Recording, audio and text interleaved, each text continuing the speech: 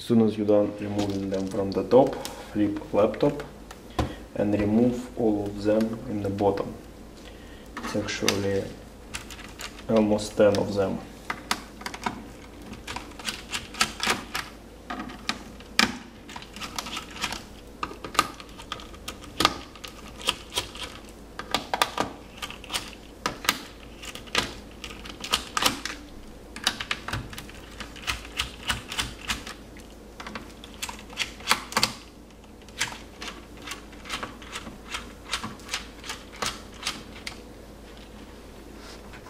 As soon as you loosen all of them, just very very carefully eh, not to lose them, flip it upside down and they will fall.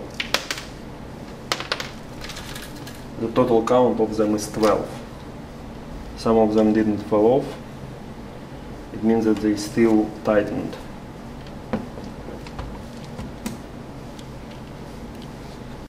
When all 12 of them was removed, those from the bottom, this is from the top all of them the same length. That's why it's better to take a mini bag, write on it F5, and to place all of them into this bag, not to mix them.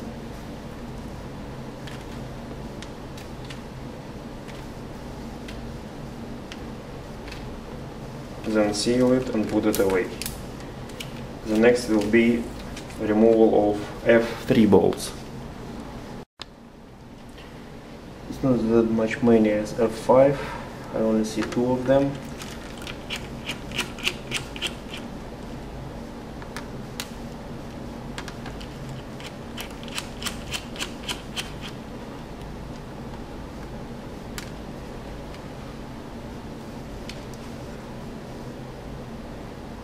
Alright, two F3 balls removed from the top and also it doesn't say here that it's F3 but one more F3 bolt is, is here very very close to DVD-ROM total amount of F3 bolts is 3 put them in a, in a bag and put it away the next before you remove the top cover you have to remove this cable and this one is responsible for the power button disconnect him and then disconnect this touchpad cable.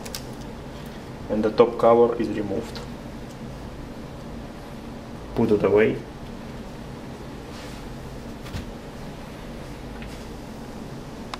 When the top cover was removed. As you can see it's pretty dusty everywhere. Maybe even this is the reason why there is no video. Maybe there is some wet human dust which is shortening something on the motherboard. Maybe it's a problem with GPU and it need to get his reflow. We will find it out. That's why you have to disconnect all those cables. This one this one this one LVSD um, from from the motherboard and to remove it here you just using the flat screwdriver and pulling this cable out. This, just put it up, simply remove it. Here on LVSD connection there is protective tape which is securing the connector on place. When you release it, just press like this and the LVSD cable should, should come out. Here we go. Then there is some mounting screws which are mounting the motherboard to the lower cover. This screw, there is an arrow here and here. You have to remove them. There is two arrows, right and left.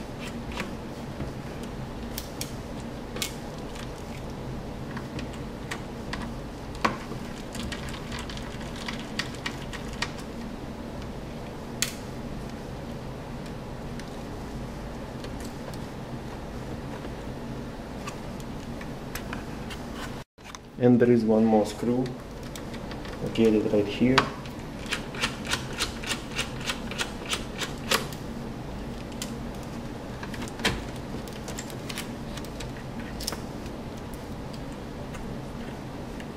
From the other side of the board there is a power connector which providing power to the motherboard. Disconnect him. As soon as power connector is disconnected the motherboard is taken out. This just put temporarily away, you don't need to deep clean it. On the motherboard itself, especially in a cooling fan and heatsinks, we see some dust, not that much, just the light amount. We obviously cannot say that this motherboard is very dusty. Some of it is here, some of it is right there. And from the other side, this protective tape need to be removed as well, since there is dust under it. Maybe this is why this causing for video to be gone. In the same moment, I believe that GPU which located right here need to get his reflow since the video is gone. That's why we need to remove the heatsink. To remove the heatsink, we need to use Phillips 1/8 screwdriver and remove those balls. Those balls have springs. You can see them.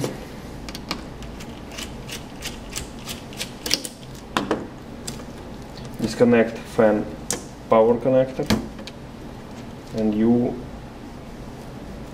removing the heatsink. Almost all thermal compound is gone on CPU, is very dry. The GPU have this one. Put, put it away, need, need to be cleaned, the heatsink need to be cleaned. and remove protective tape from the other side of the motherboard since we will be cleaning the whole board and then we'll do reflow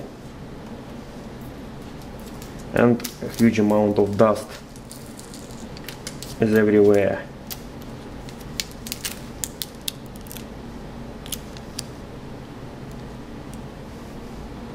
remove the CPU left screwdriver control clockwise to release the lock. CPU is removed. Start cleaning the motherboard. Before as well, it's better to remove Wi-Fi extension card, 1.8 Phillips, two screws.